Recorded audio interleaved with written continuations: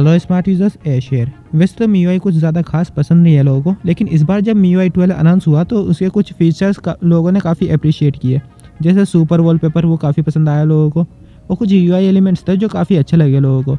और notification panel भी उन्हीं में से एक है। जो मी वाई ट्वेल्व का नोटिफिकेशन थी नोटिफिकेशन पैनल वो काफ़ी ज़्यादा पसंद किया गया। कुछ लोग कह रहे थे वो आई की कॉपी है लेकिन इसके बाद भी वो काफ़ी अच्छा लगा और मेरा ओपिनियन भी यही है। हालाँकि आई की कॉपी यहाँ पे लगता है, लेकिन फिर भी काफ़ी अच्छा लुक देता है फ़ोन को। और आज की वीडियो की खास बात यह है, मैं आपको बताऊँगा कि कैसे ये नोटिफिकेशन पैनल आप अपने किसी भी फ़ोन में यूज़ कर सकते हैं। आपको किसी रेडमी फ़ोन की ज़रूरत नहीं है, और सबसे खास बात यह है कि आपको अपना फ़ोन रूट करने की भी ज़रूरत नहीं है इसके लिए। ये कैसे करना है, उसके लिए आपको ये पूरी वीडियो देखनी होगी, और वीडियो में आगे बढ़ने से पहले मैं आपको सजेस्ट करूँगा कि अभी तक आपने चैनल को सब्सक्राइब नहीं किया तो सब्सक्राइब कर लीजिए, और ऑलरेडी सब्सक्राइब है तो बेल आइकन को दबाइए, क्योंकि इस तरह की काफ़ी इंटरेस्टिंग वीडियोज़ के साथ मैं यहाँ पे आते रहता हूँ। सो होप अब तक आप चैनल सब्सक्राइब कर चुके होंगे। Without wasting any further time let's give it a shot smart users इससे पहले मैं आपको ये बताऊँ कि आपको ये कैसे करना है। मैं आपको दिखा देता हूँ ये नोटिफिकेशन पैनल यहाँ पे कितना स्मूथ और कितना फीचर रिच है। जो यहाँ पे मैं फ़ोन यूज़ कर रहा हूँ है सैमसंग का गैलेक्सी एम थर्टी तो इसमें आप देख लीजिए परफॉर्मेंस इसकी कैसी है। बिल्कुल ही स्मूथ यहाँ पे चल रहा है। मैंने इतनी ज़्यादा स्मूथनेस एक्सपेक्ट नहीं की थी, क्योंकि यहाँ पे आप देख लीजिए काफ़ी ज़्यादा हैवी यू आई है इसका। ये यहाँ पे डायनामिक बैकग्राउंड ब्लर है, जो काफ़ी लोड डालता है। उसके बाद भी यहाँ पे काफ़ी स्मूथ परफॉर्मेंस देखने को मिली है नोटिफिकेशन पैनल की। अब देख लीजिए कितनी स्मूथ यहाँ पे एनिमेशन है ट्रांजिशन है। ज़रा सी भी ग्लिचीनेस फ्रेम ड्रॉप या फिर लेगिनेस देखने को नहीं मिलती है जब भी हम टोगल करते हैं नोटिफिकेशन पैनल को। और इस पैनल की मुझे एक अच्छी बात यह लगती है इनकेस अगर आपको अपने फ़ोन का डिफ़ॉल्ट नोटिफिकेशन पैनल ओपन करना हो तो वो भी आप कर सकते हैं। ऐसा नहीं है कि आपने ये लगा दिया तो आप अब कैद हो गए इसी को यूज़ करना होगा और कुछ परेशानी आ रही है आपको तो फिर भी डिफ़ॉल्ट नोटिफिकेशन पैनल एक्सेस नहीं कर पा रहे हैं तो ऐसा नहीं है। और स्मार्ट यूज़र्स यहाँ पे और ज़्यादा एक्सट्रीम लेवल पे जाते हैं। ये देखिए मेरा तीन साल पुराना Samsung Galaxy C seven pro इसके अंदर भी आप इसकी परफॉर्मेंस देखिए, कितने ज़्यादा स्मूथ है। ये तो मैंने बिल्कुल एक्सपेक्ट नहीं करा था। ये फ़ोन मैंने 2017 में परचेज़ किया था मतलब तीन साल पुराना फ़ोन है और उसके बाद भी इसकी परफॉर्मेंस आप देख लीजिए। स्नैपड्रैगन 626 इसके अंदर चिपसेट है, लेकिन फिर भी यहाँ पे ज़रा से भी लेगिनेस का निशान नहीं दिख रहा है हमें। और इसकी वजह से मैं इसे as a daily driver use कर सकता हूँ नोटिफिकेशन पैनल को। और इनफैक्ट मैं कर भी रहा हूँ। स्मार्ट यूज़र्स इस तरह के थर्ड पार्टी नोटिफिकेशन पैनल के अंदर प्रॉब्लम ये आती है कि उसमें जो टॉगल्स होते हैं या फिर कोई सेटिंग्स होती है, वो सही से वर्क नहीं करते हैं उनमें कुछ बग्स रहते हैं। लेकिन काफ़ी शौक रहा है ये देख के कि इसमें एवरी सिंगल टोगल बिल्कुल सही से वर्क कर रहा था। कोई इसमें बग नहीं था। कोई कोई नोटिफिकेशन में ऐसा करता है, जब हम किसी टॉगल पर क्लिक करते हैं तो वो हमें सिस्टम की सेटिंग्स पर ले जाता है। तो फ़ायदा ही क्या हुआ उस नोटिफिकेशन पैनल का?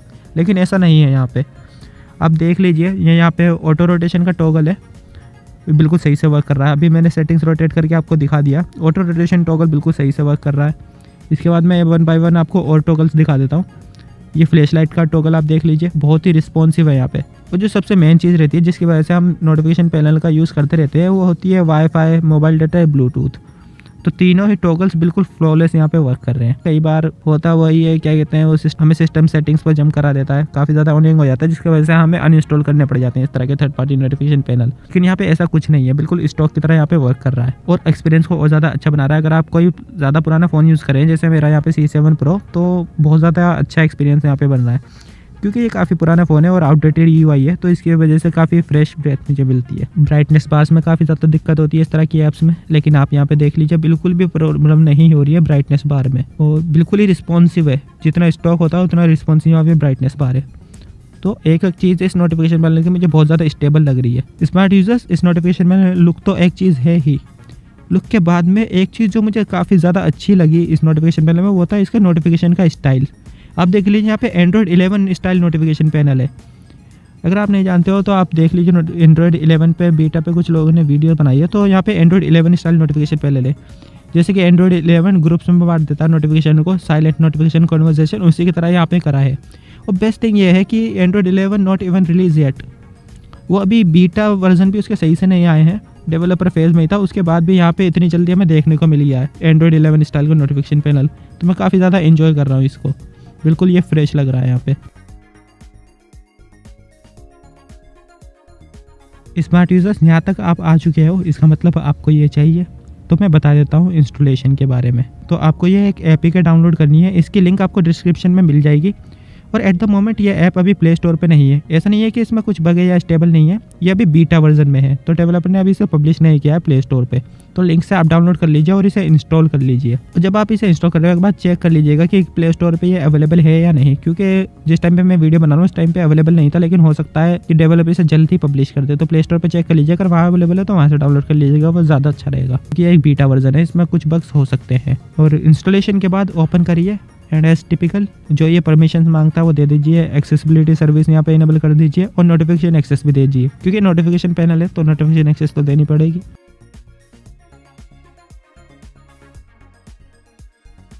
अब आप देख सकते हैं कि यहाँ पे ये वर्क कर रहा है। और यहाँ पे आप मी वाई इलेवन का स्टाइल भी यूज़ कर सकते हैं। लेकिन यहाँ मी वाई इलेवन के लिए कौन आया है? आप सब तो मी वाई ट्वेल्व के स्टाइल के लिए आए हैं तो इसे ही चूज़ कर लेते हैं। स्मार्ट यूज़र्स इस टाइम आप नोटिस कर रहे होंगे कि नोटिफिकेशन पैनल के बैकग्राउंड में ब्लर नहीं है। तो ये कोई बग नहीं है।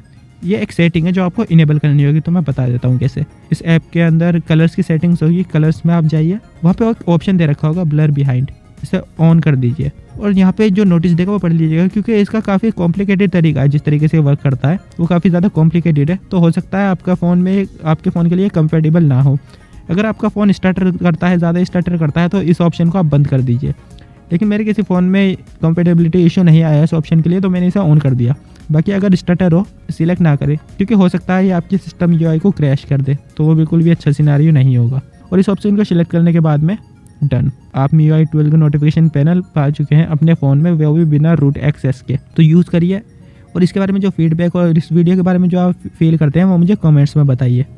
जिससे मुझे पता लगेगा कि किस तरह का कंटेंट मुझे इस चैनल पर कंटिन्यू करना है। So that's all for this video sign up करते हैं वीडियो को. B smart stay smart